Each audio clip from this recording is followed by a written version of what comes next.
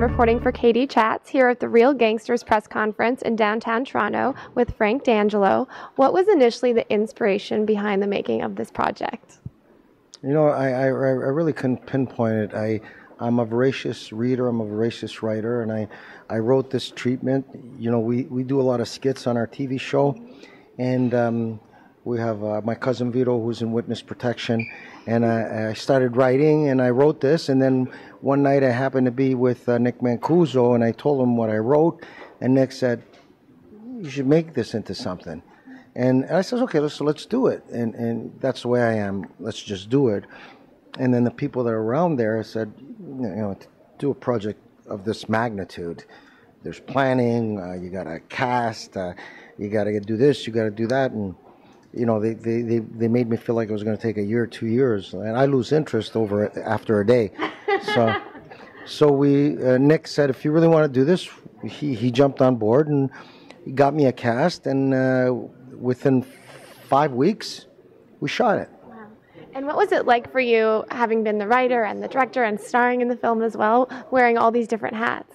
I, I, to be honest with you, uh, I didn't even notice. Um, I mean, Nick uh, Mancuso, who's been in this for a long time, said to me, "You're going to need a couple of assistants. You're going to need this." I says, "No, they'll get in my way. Just let me let me try it my way. If I fail, I fail." And and I really didn't see it as as wearing all the hats. You know, I run a business, and and and I've been used to being in that gear all the time. So we did it, and then we tried to fit the music uh, with the with the, the rhythm of the movie and the rhythm of the movie with the music. So we got lucky; everything fit together. What's at the heart of the story? Heart of the story is the relationship between two first cousins.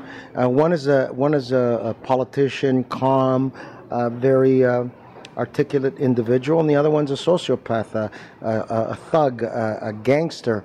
Uh, but in the movie, you'll see that he has little s- sprinkles of uh, humanity it's rare, but he has some sprinkles of humanity. What was your acting process like? How did you get into character? That's a great question, actually.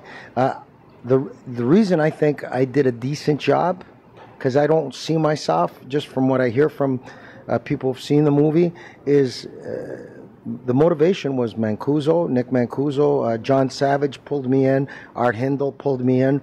So these guys are, are consummate professional artists and and when I started talking to them, I forgot who I was as my real persona in real life, and I, I, I slid into that character, and I think that that's the reason everything worked very well for us. What makes a real gangster to you? A real gangster, a real gangster is a guy uh, or or female, because there's some pretty tough women. Uh, is they're they're sociopaths. They can uh, separate they're great family people. They love their friends, but when they got to kill or they got to do what they got to do, they do it. That's a real gangster. And where can we find more information on Real Gangsters? And you have a screening coming up at the TIFF Lightbox, but where can we find all that online? I think it's at www.realgangsters.net. And uh, if you go on YouTube, and, and um, Real Gangsters has got two trailers there and if you want to see the music video, it's uh, you, you, on YouTube, Frank D'Angelo uh, music. We have four million hits on all our music, but Real Gangster, I think, is up to uh, Dreamer, which is the the soundtrack for Real Gangster, is up to sixty thousand hits. So people have connected with the music, they've connected with the characters, and they they've they can't wait. And right now, we're one of the top selling tickets for this festival, and we were the number one selling uh, movie for tickets in New York. And what is the importance of Canadian film to you? It's everything. I'm Canadian. I love Canada. I love Made in Canada.